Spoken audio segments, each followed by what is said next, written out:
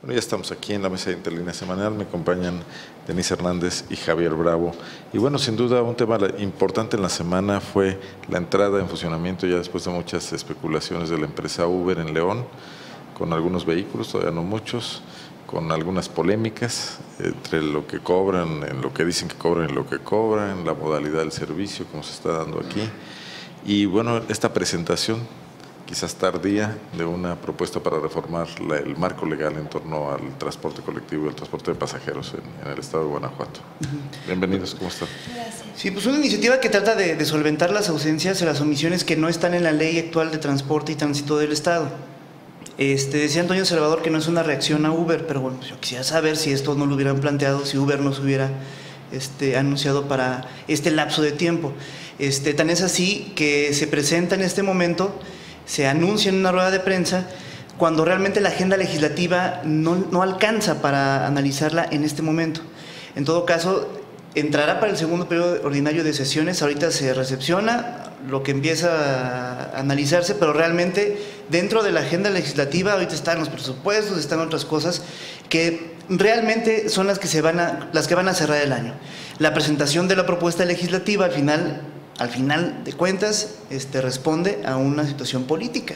¿no? Una situación política en la que tienes encima a los taxistas, tienes también un servicio que empieza a trabajar como es Uber y pues se contemplan varias modificaciones.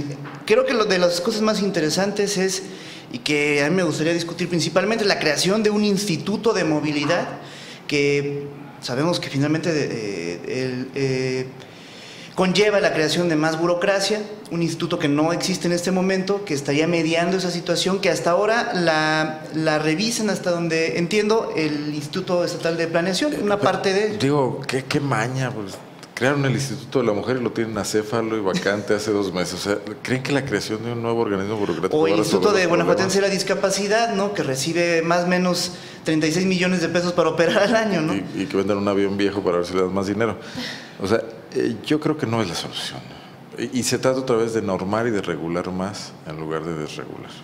Justamente hay, hay un asunto que me parece a mí bastante curioso, que es el que se esté dando por hecho el que esta norma va a pasar, lo cual es bastante probable, pero se desestimó una norma, o más bien una iniciativa que, que presentaron desde el año pasado, bueno, más bien desde la legislatura pasada, en junio, lo presenta el grupo parlamentario del PRI. Sin embargo, esta iniciativa se ha hecho bastante a un lado y que era una especie de copia de lo que se ha hecho en otras partes. Justamente, justamente, pero es una iniciativa que se enfocaba o que iba hacia el mismo camino, ¿no?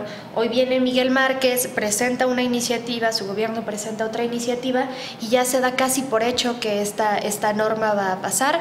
Insisto, es bastante probable dada la mayoría en el Congreso, pero esto es una muestra aplastante de lo que puede hacer justamente la mayoría en el Congreso, la mayoría en los ayuntamientos y la mayoría, bueno, más bien el gobierno panista ya en, en, el Estado. ¿no?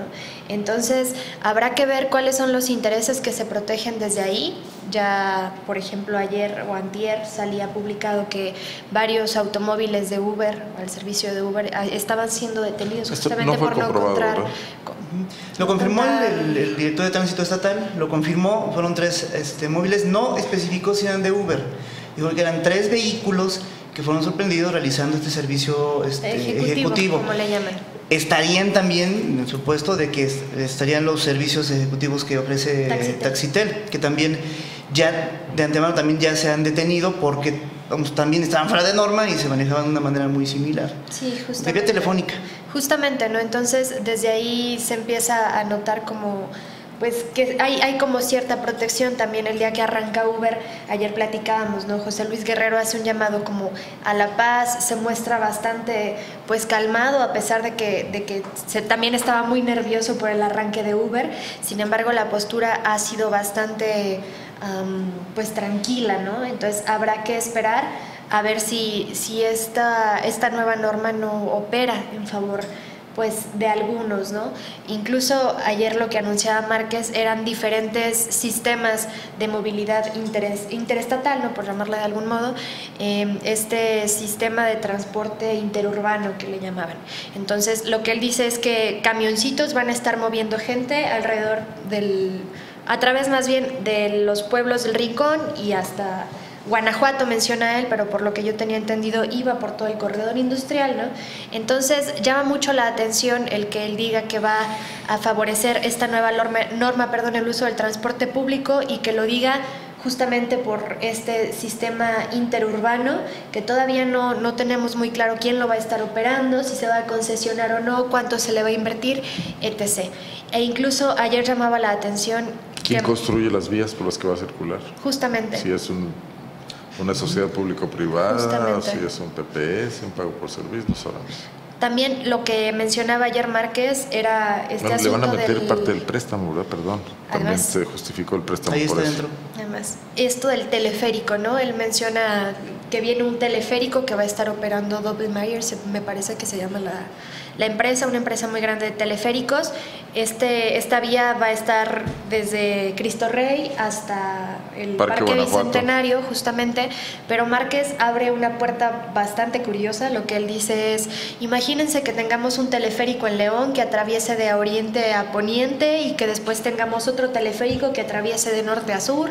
Entonces, ya completamente despegado de la realidad, me parece a mí. En el teleférico. Justamente, un teleférico que atraviese León de punta a punta, ¿no? Entonces, pues no sé si ya sean ocurrencias justamente como esto de que la vigencia de esta norma va a ser de 30 a 40 años, como si ya fuera él adivino de lo que va a pasar en dos años más, etc. Y más con, a ver, los cambios que se están produciendo en este momento en el terreno de la movilidad vienen dados por el, por el, la aparición de nuevas modalidades tecnológicas, por el uso del celular como una herramienta que va más allá ya de la simple comunicación. 30 o 40 años es demasiado para la tecnología. Digo, un político que hable de eso en este momento, justo en este momento en el mundo, pues este, realmente está siendo muy iluso o muy desconocedor de las cosas. Aparte creo que, perdón, en, en esto que mencionabas hace un momento de que decían que la norma no iba solo enfocada a Uber, sino que era una, una norma en general ahí está, en, ese discurso o en esa parte del discurso está la conexión que hay entre el gobernador y los diputados, porque curiosamente platicamos, por ejemplo, con Héctor Jaime o con Juan Carlos Muñoz, y los tres, o los cuatro más bien, junto con el secretario de gobierno, traen el mismo discurso, ¿no? Es una norma que no se hizo para Uber, es una norma que se está haciendo en general. Entonces, desde ahí se está viendo la operación del gobernador y que finalmente la otra propuesta de ley, la del PRI, va a quedar completamente fuera de lo que, de lo que termine la iniciativa ya se hizo pública, ya se puede acceder a ella, ya está en internet. Se incluyó a comisiones, faltaría que la Pero no se ha hecho pública. El, documento completo no. Probablemente hay necesidad de foros, pero todavía no se hace pública. Lo que, lo que hasta este momento es el problema pues, de este desfase de tiempos. No hay ninguna claridad. No se ha hecho público el documento completo, porque incluso todavía se ha integrado apenas se presentó a la Comisión de Transporte. Ellos tienen que recepcionarla. Ser muy transparente, ¿no? tiene que recibirlo la Comisión de Transparencia, perdón, la Comisión de, Transporte. A partir de ahí que empiece el análisis, pues entonces estará haciendo pública.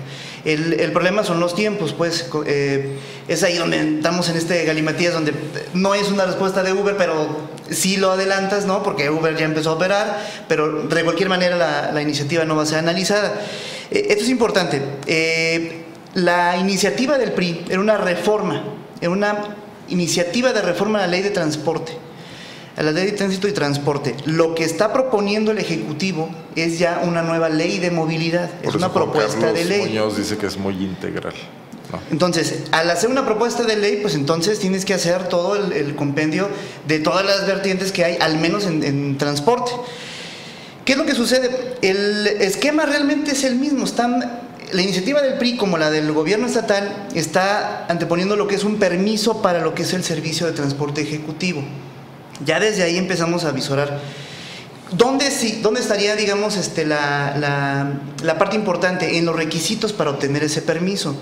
¿no? ¿Qué candados va a haber? Dejaron cosas muy sueltas que, que son importantes. La parte de los requerimientos, cuotas, impuestos o demás situaciones este, eh, monetarias que pudieran incluir como parte de los requisitos. Eso no está calculado, eso no lo dijo Antonio Salvador. La otra es el límite para que cada permisionario este, tenga unidades de servicio. Es decir, que un empresario no tenga una flotilla de 10, 20, 30 este, eh, vehículos. Esa parte es importante porque eso es lo que sucede también con los taxis. Entonces, todavía hay algunas inconsistencias. Eh, yo creo que una parte importante y la parte en la que se ve una decisión mucho más eh, firme por parte del gobierno es en la reforma al Código Penal, que de pasar de una falta administrativa que tenía una multa, bueno, pues ahora ya se, se, se, eh, se contempla la cárcel con cinco años aproximadamente, desde siete meses hasta cinco años. Esa parte yo creo que ya trae cierta, cierto grado de intimidación ¿no? para aquellos que empiecen a operar fuera de esta norma, que no tengan permisos u concesiones y que estén realizando el servicio. Este, esa parte, el Instituto de Movilidad, que también tendrá que tener este, en su responsabilidad precisamente el dar estos permisos, precisamente dar estas concesiones, ya no, un, este, ya no una obligación directa por parte de la Secretaría de Gobierno, ya empiezas a, delegar ese tipo de funciones. Bueno, ese tipo de, todo este tipo de, modificaciones a la ley contempla también eh, pues, modificaciones a la administración estatal. Yo quiero saber si realmente el gobierno de Márquez, en su proyecto de gobierno, en su programa de gobierno, tenía contemplado a la mitad del sexenio crear un instituto de movilidad. ¿no? no creo. Que además también viene un, recorte ¿no? en, los presupuestos y habrá que ver también si a pesar de ese recorte hay recursos para asignarle a un nuevo instituto. Bueno, lo importante sería conocer la ley, qué opinan los expertos de ella, los mismos interesados, los transportistas, que se haga pública, que no se maneje en secreto por los diputados. Juan Carlos Muñoz, que preside la comisión, pues él mismo es transportista, es un poco también, hay, habría un conflicto de intereses, se va a normar a sí mismo. Varios diputados están, me parece, en la misma situación, no es el único, pero hay todavía mucho que ver, incluso nos parece que la norma va a pasar hasta febrero próximo, ¿no? Va a ser cuando, cuando la van a analizar. Lo que pasa es que en febrero es cuando está el siguiente periodo. Exacto, entonces podría pasarse para entonces, porque ahorita ya no hay tiempo, entonces la pregunta aquí es qué va a ocurrir en ese inter, o sea, de ahorita, de noviembre ya a febrero próximo, van a estar persiguiendo a los ejecutivos. Eh, Mano dura. Justamente, ¿cuál va a ser la postura Son tres meses en el gobierno? Son tres meses en el limbo legal en el que Uber va a seguir operando, porque está, sigue operando y está operando actualmente. Eh, y son tres meses en los que van a estar persiguiendo este tipo de servicios, Uber y los demás este, concesionarios. ¿no? Bueno, que anteriormente es curioso, porque anteriormente la, la, persecución hasta este, hacia este tipo perdón, de servicio ejecutivo, como le llaman ellos, no, era, no era bastante notoria, ¿no? O sea, Taxitel tiene años operando este tipo de servicio, pero jamás se hizo el ruido que se está haciendo ahora. Justamente, entonces ahorita ya entra Uber y la política pues cambia de manera radical. Eh, cuando habló de privilegiar a los inversionistas guanajuatenses. como que el tema de la globalización es trato igual para todos. O sea, los mexicanos que vayan a hacer negocios a China, que los traten bien. Y aquí estamos volviendo al viejo esquema proteccionista de que Guanajuato para los guanajuatenses es una realidad rebasada totalmente. Pero además bajo un, discurso muy contradictorio. Ya ni siquiera vayámonos a las cadenas automotrices. Miguel Márquez evocó mucho la modernidad y el, desarrollo económico basado en el, transporte y la conectividad, argumentando, este, primero denostó el proyecto del tren interurbano, lo hizo en campaña, ¿no? lo denostó diciendo si ya es un tranvía llamado Deseo, este, donde vamos prácticamente pues esa, esa, esa gestión que viene desde la, desde, desde la administración de Vicente Fox, estos, este, este proyecto. Carlos Medina. Desde Carlos Medina. Desde la primera alternancia este, en, en, el, en el gobierno estatal se venía proyectando este tren interurbano para conectar todo lo que es el corredor industrial del Estado. Este, no Era una época en la que ni siquiera parecía que hacía falta, como si hace ahora que hay una cadena de producción a lo largo de todo. Ahora hay una cierta justificación. Bueno, cuando llega y se topa con el proyecto, este, ahí me imagino que él estaba muy mal informado. El propio López Santillán, Héctor López Santillán, actual alcalde, le presentó el proyecto, dijo, pues hay un 80% de vía deliberada, el proyecto está más que cimentado y en este momento Enrique Peña Nieto, iniciando su gobierno, presentó un proyecto de, conectividad a través de trenes. Es el momento de gestionarlo, es el momento de presionar y apretar el acelerador. Cuando Gerardo Ruiz Esparza le echa para atrás este, el proyecto diciendo no está en nuestros planes porque nosotros queremos conectar estados, este, entonces ahí es cuando empiezan a modificar y empiezan a ver un plan B, el plan B del sistema de, de comunicación y transporte del corredor industrial.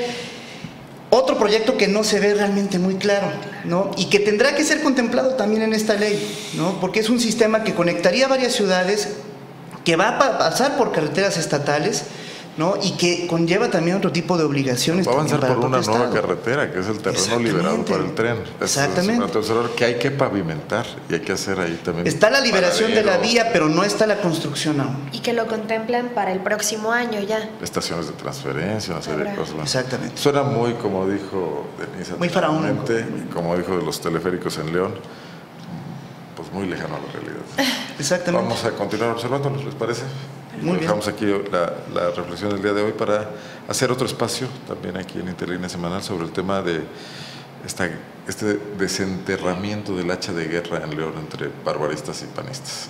Perfecto. Vamos. Regresamos después de la pausa, despedimos a Denise Hernández, muchísimas gracias como siempre y regresamos, Fernando Velázquez viene para acá.